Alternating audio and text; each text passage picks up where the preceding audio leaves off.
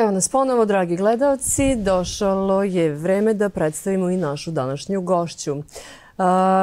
Indira Popadić, doktor tehničkih nauka, naša draga sugrađanka i današnja gošća. Ona je poslovni konsultant i mentor za razvoj strategije prodaje i vođenje prodajnih timova od definisanja prodajnog ciklusa i komunikacije do pregovaranja i izgradnje uspešnih prodajnih timova. Inače, ovogodišnja dobitnica priznanja Cvet uspeha za ženu Zmaja 2003. godine koja tradicionalno dodeljuje Udruženje poslovnih žena Srbije.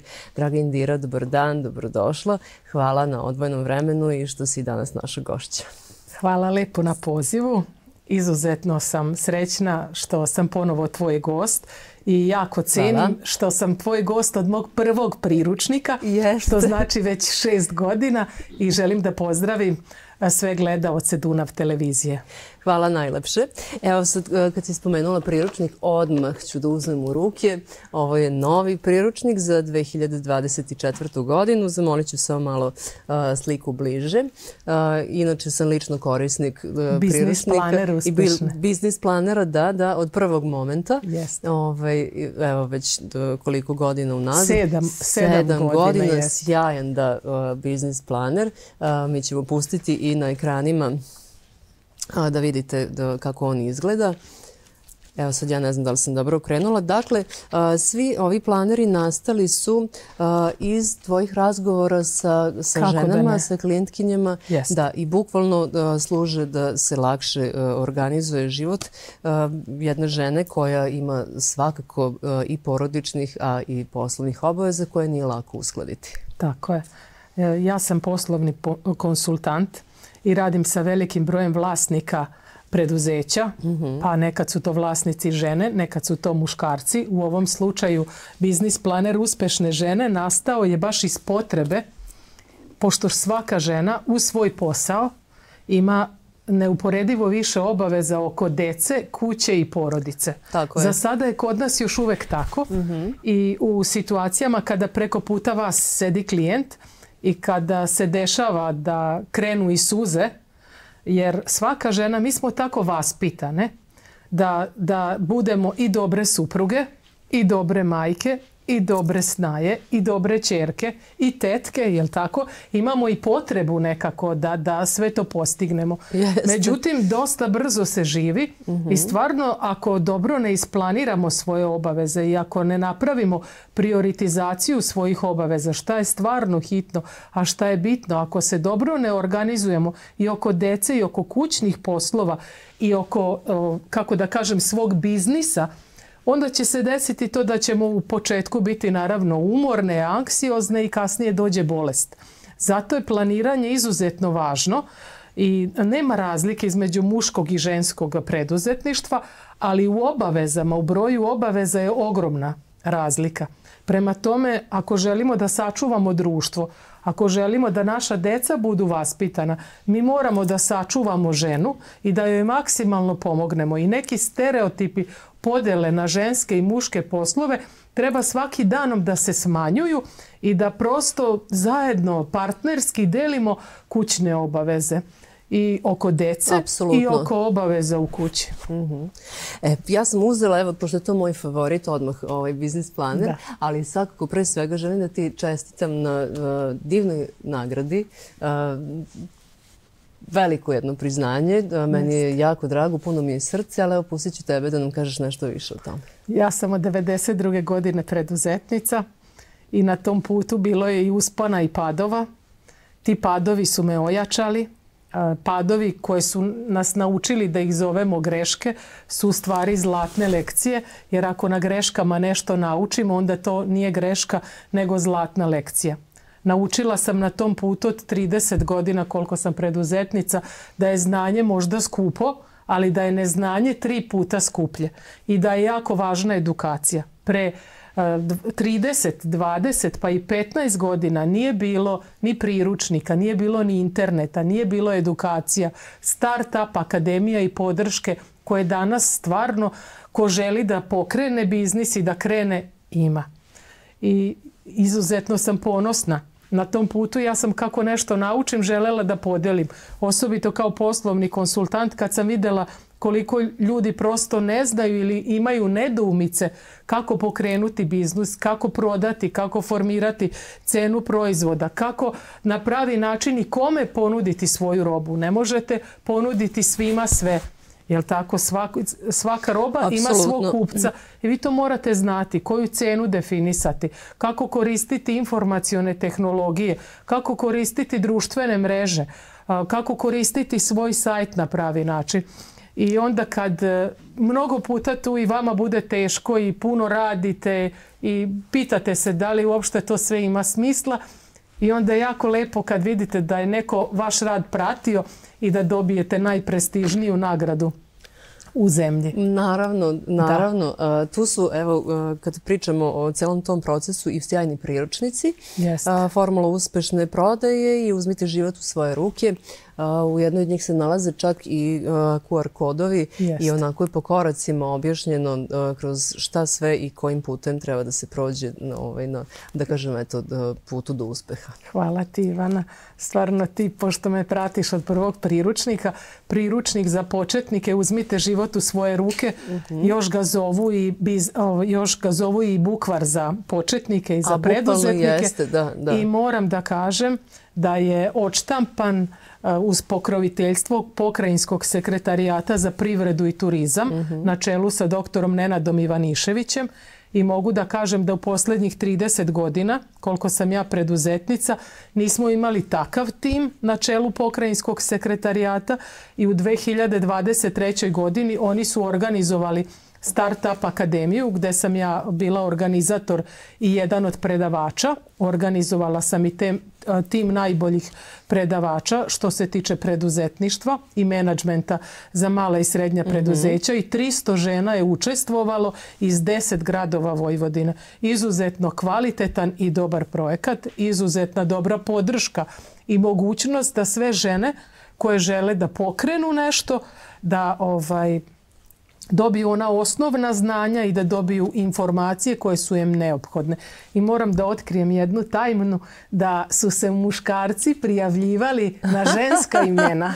Jel moguće? Što znači da nije u redu što smo samo stavili za žene preduzetnice, nego bi Dobro, trebalo... sljedeći će biti za muškarce. da, da, da, Imamo formulu uspješne prodaje. Uh, o svemu ovome uh, ti uh, govoriš u jednom ajde da kažem, novom e, projektu e, koji se zove e, prva digitalna platforma ženskog biznisa Osnažene. Da. Velika je stvar u pitanju, prvi put kod nas, ali ja predlažem da mi za početak pogledamo jedan promo video u kojim će nam malo objasniti ovaj, šta i o čemu se radi, pa ćemo da porazgovaramo na temi. Hvala lijepo.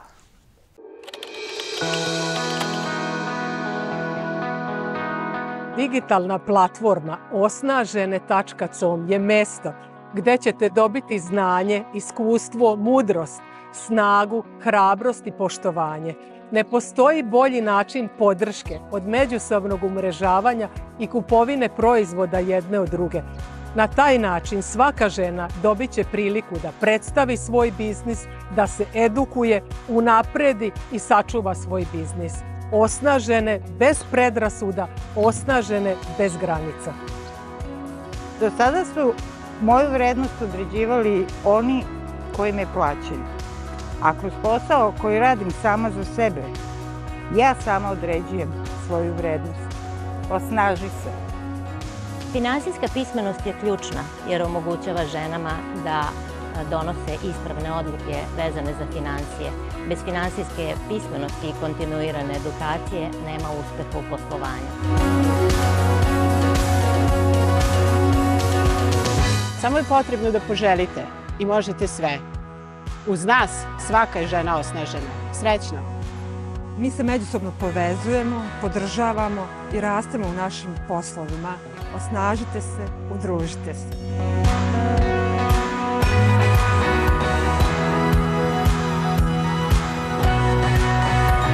Ja sam u grupi Osnažene zato što se tu žene umrežavaju i podržavaju jedna drugu.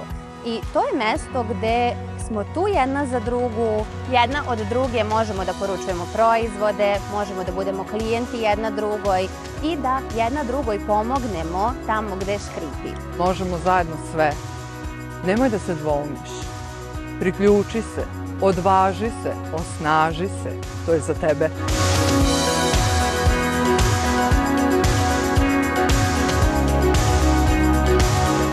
Mislim da je važno da pružimo ženama preduzetnicama osnovu na kojoj mogu da izgrade svoje poslovne poduhvate. Uz određene resurse i alate da mogu da planiraju svoje poslovanje. To je jedna od redkih prilika da a, učinite da vaš biznis raste i napreduje zajedno sa vama. Budite i vi deo tima Osnažave. Platforma rešava jedan od osnovnih problema zbog kojih preduzetnici uglavnom odustaju od svog biznisa, a to je ne poznajem dovoljno ljudi, nemam kome da prodam svoj proizvod ili uslugu. Platforma osnažene.com donosi vam mrežu vaših potencijalnih klijenata, kupaca, koji će biti odlična odskočna daska za razvoj vašeg biznisa. Ukoliko želite da postanete preduzetnica, da budete svoj čovek, da imate svoj novac, da bezbedno vodite svoju kompaniju, podržite ovu digitalnu kampanju i uključite se u nju. Ti si važna. Budi inspiracija. Budi samostalna. Veruj u sebe. Napredi se.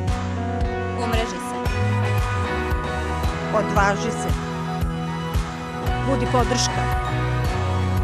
Edukuj se. Osnaži se.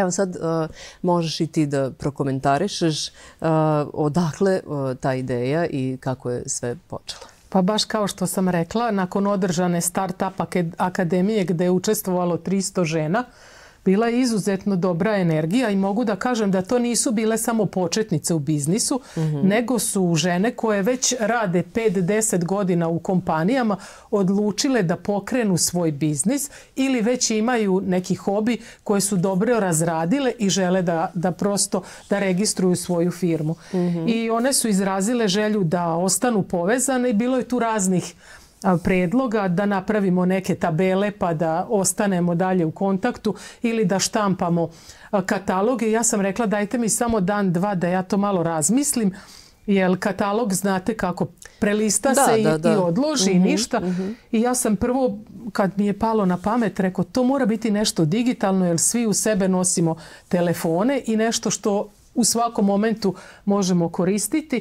I onda sam, kad sam došla na ideju, digitalna platforma gde bi svaka žena imala, i jako je kvalitetno, mm -hmm. gde bi svaka žena imala svoj profil, znači profilnu sliku, jer iza svakog malog biznisa stoji neka osoba.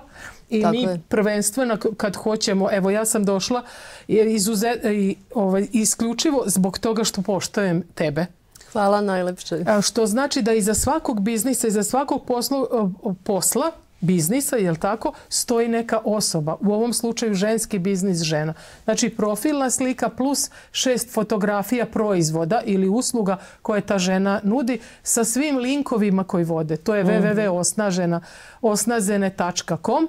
Pa ja pozivam sve žene da se priključe. Na platformi se nalazi trenutno osam zemalja. 20. i 21. sam dobila poziv u Makedoniju da dođem da predstavim projekat. U decembru imamo Hrvatsku i tako kompletan region. Moram da kažem da su nam se priključile preduzetnice iz Nemačke i iz Austrije. Tako da evo polako se širimo nećemo uopšte da stavljamo, mislim, ono da stavljamo neke granice bez predrasuda, Jasne. bez granica, kako se budu prijavljivale žene iz, ovaj, šta je tu poenta? Da se povežemo, da razmenimo iskustva, da razmenimo primere dobre prakse, e, da jedna od druge kupujemo proizvode. E, to je baš bilo zanimljivo. Uh, pročitala sam da si rekla da uh, kada bi samo, e, neka bude taj broj 300 koji smo spominjali, tih 300 uh, žena i ili preduzeće jedni od drugih kupovali da bi se prodaja udvostručila Tako minimalno. Je. Pa ja sam poslovni konsultant i moj posao je i kad dođem u neku firmu da rešavam probleme. Mhm. A uvek e, ili je organizaciona struktura ili de- ne, ne postoji dobar način delegiranja od strane vlasnika ili je prodaja u pitanju. I onda uvek moram dobro prvo napraviti naravno analizu dobru i na osnovu analize interne i eksterne dajem rešenja. Tako i ovo bilo pomoć ženskom preduzetništvu Srbije i regiona, jer, kako da kažem, ja smatram da smo mi malo tržište, ali ako se povežemo sa Hrvatskom, sa Slovenijom, sa Bosnom, Apsolutno, Crnom da. Gorom i svim okolo zemljama, još uži krug pa širi krug i cela Evropa, ja se nadam, imamo ogromne mogućnosti, prvenstveno za razmenu proizvoda, onda drugo kupovina franšiza malih i treće prodaja i kupovina biznisa. Sjajno. Ja sam oduševljena. Da, hvala. Jedva čekam i sa zadovoljstvom su preporučiti svima koji poznajem, naravno da se pridruže platformi. Sjajna ideja i još jedna jako velika stvar. Hvala Indira što, što si eto to a, što si nam to priredila i omogućila našim ženama preduzetnicama i verujem da će im puno značiti. Pitaću te još za kraj a, samo o nekim planovima za naredni period. Pa e, sad ovaj tako veliki je pro, projekat osnažene i to postoji tek šest meseci. Evo sad e, d- 20. i 21. je Makedonija, pa decembar Hrvatska i tako.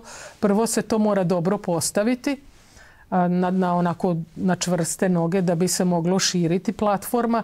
A, Preko hiljadu žena je trenutno na platformi, a planiramo u recimo u 2024. godini da i svake države bude po hiljadu žena minimalno.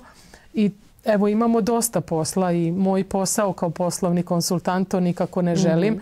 Dalje ja moram da kažem da me zovu vrlo često i na fakultete i na e, više škole da održim predavanjima studentima o svim mogućnostima koje nudi preduzetništvo sa ciljem da oni ostanu u našoj zemlji, da se pokrenu, da razviju da li zanat, da li kroz bilo koji oblik biznis modela, da ostanu u svojoj državi i da prosto kroz svoju energiju i naše iskustvo i znanje unapredimo privredu naše zemlje. Apsolutno se slažem. E, Sjajna, e, sjajne novosti, sjajna priča. Još jednom sve čestitke na, na divnoj nagradi, na ovom fantastičnom projektu. Hvala na odvojenom vremenu i na još jednom lepom gostovanju u našoj emisiji. Hvala lepo. Hvala na pozivu. Uvek sa najvećim zadovoljstvom.